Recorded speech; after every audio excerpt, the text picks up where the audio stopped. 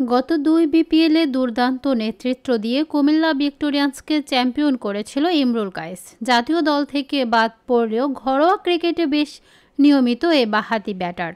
গত ডিসেম্বর এক টুর্নামেন্টে অংশ নিতে অস্ট্রেলিয়ায় গিয়েছিলেন তিনি। অস্ট্রেলিয়া বাংলাদেশ কমিউনিটি ক্রিকেট শেষে হংকং হয়ে দেশে ফেরার সময় আগমনী কার্ডে বড় এক ভুল পেয়েছেন তিনি। আগমনী কার্ডে বাংলাদেশ বানান ভুল পেয়ে ক্ষুব্ধ প্রতিক্রিয়া জানিয়েছেন বাংলাদেশি ব্যাটার।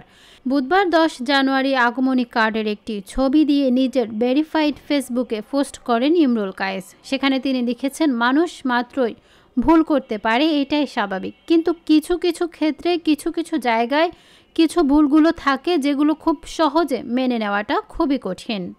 গতকাল আমি যখন হংকং থেকে বাংলাদেশে ফ্লাইটে আসছিলাম, তখন আমি বাংলাদেশের অ্যারাইভাল কার্ডে দেখলাম যে বাংলাদেশের নামটি স্পেলিংয়ে ভুল আছে। এটা দেখার পরে আমার কিছু বিদেশি বন্ধু ছিল একই ফ্লাইটে। ওরা আমাকে প্রথমে জিনিসটা দেখায়, এরপর আমাকে বলে যে তোমাদের দেশের কি হয়।